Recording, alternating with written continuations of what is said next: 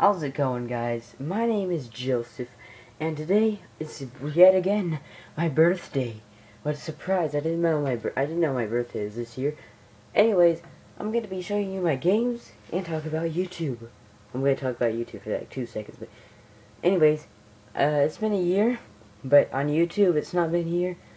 Um, in August last year, I think that was when this thing started.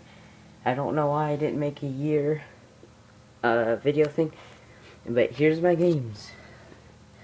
So first, we got Call of Duty Ghosts. It sucks. Do not buy it.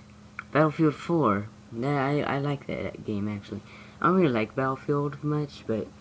Anyways, Grand Theft Auto 5, my favorite game of all time in 2013. Not of all time. I mean, favorite game of 2013 or something. Payday 2, Injustice, we got the Black Ops 2, we got the Modern Warfare 3, we got the Battlefield 3, I don't think the Premium Edition cares. No one cares about that anymore. Black Ops and Modern Warfare. Now, if you were here last year, you you saw that I had way more games, like I had Call of Duty 4 and all that.